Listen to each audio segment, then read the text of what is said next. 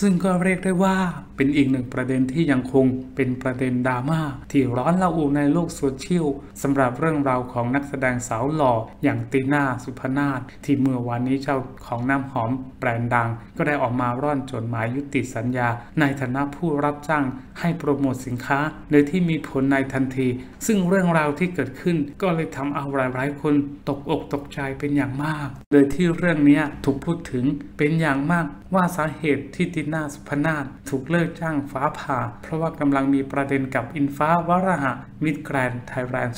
2022 เพราะว่าก่อนหน้านี้ทางด้านอิงฟ้าก็ได้ออกมาโพสต์กลางทวิตเตอร์ถึงบุคคลที่ 3 ซึ่งก็ถูกโยงไปถึงตีน่าเช่นเดียวกัน ซึ่งงานนี้ก็มีชาวโซเชียลบางกลุ่ม ก็ได้ออกมาโพสต์ความสงสาร และก็เห็นอกเห็นใจตีน่าว่าต้องโดนอะไรขนาดนี้เลยเหรอจนพาการติดแฮชแท็กตีน่าขึ้นเทรนทวิตเตอร์เพื่ออนสนิทอย่างนิวเคลียร์หรรษาก็ยังได้ออกมาโพสต์ที่มีภาพที่น้องไทก้ากำลังจูบแก้มตีน่าพร้อมกับข้อความไว้ว่าเซฟตีน่าเพื่อนเราคนดี แค่อ่อนๆพูดภาษาคนไม่ค่อยจะเป็นแค่นั้นเอง ตามด้วย emoticon ร้องไห้ เมื่อส่องไปในอินสตาแกรมของตีน่า เธอโพสต์ล่าสุดเมื่อ 2 วันที่แล้ว เป็นคลิปวันเกิดของน้องไทก้าลูกชายเพื่อนสนิทอย่าง สาวนิวเคลียร์หันษาท่ามกลางชาวเน็ต ก็แห่กดไลค์แล้วก็คอมเมนต์มาส่งกำลังใจให้กับสาวตีน่ากันเป็นจำนวนมาก ต่างก็บอกเป็นเสียงเดียวกัน ในเรื่อง